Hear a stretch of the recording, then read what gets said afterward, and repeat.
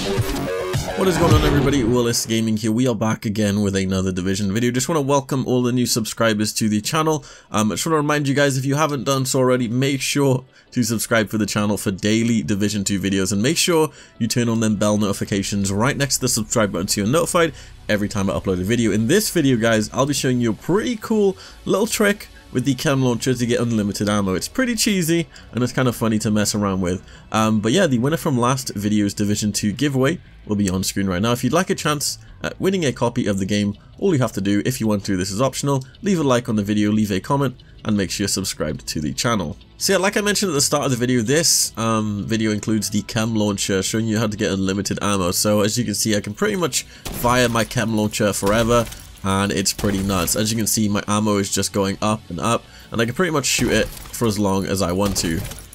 And I can literally fill the room with all of that explosive gas. It's pretty nuts. And I can just set it all on fire.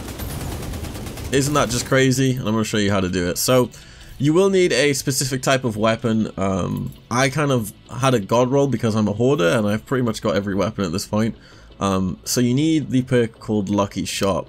Magazine capacity is increased by 20%. Missed shots from cover have a 25% chance to return to the magazine. And you'll also need a perk called Recharged. While equipped, skills deployed at full armor have a 25% duration charges and ammo so you don't have to have that second perk the uh, recharged I was just lucky and I got it on both but it really does help out with pretty much getting unlimited ammo because it is pretty hard to do if you don't have that perk so pretty much it's giving you like I don't know like 80% chance to regen ammo every shot. You'll only get super unlucky if you get that 20%, but as you can see, it's pretty much just generating ammo for me in the bottom left.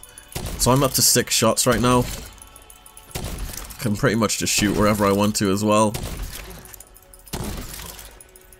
See if we can fill the whole room up. Here we go. Once one goes, they all go. Crazy.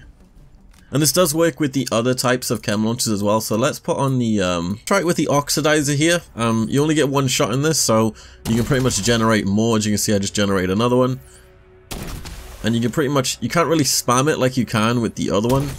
But the fact that you're able to just get one back every time is pretty crazy.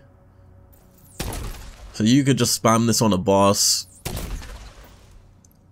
And yeah, as you can see, I got zero. So to way, the way you get it to proc if this doesn't work for you, make sure you shoot it near the target and not at the target. If you shoot it at the target, it kind of counts as it hitting. Um, make sure as well that you have the gun with lucky shot out and you're not using like your other gun by accident. You need to have the gun out, you need to be behind cover, and you pretty much need to be shooting the oxidizer or chem launcher near the target.